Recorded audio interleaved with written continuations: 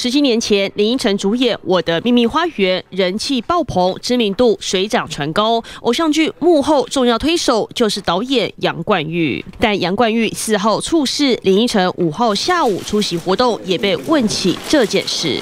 打电话跟家人慰问什么的吗？跟他的家人。嗯，暑假本来要聚餐，